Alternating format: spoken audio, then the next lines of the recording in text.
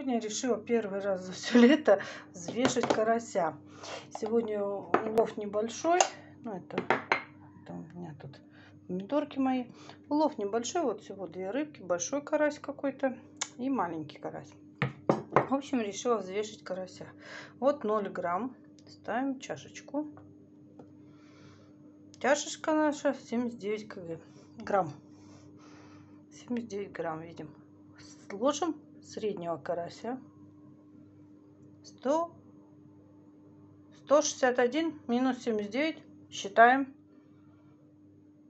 Так, 79 опять. И ложим теперь, кладем, кладем, ложим, кладем, кладем большого карася, который самый-самый большой у нас такой. Так, 79. Кладем.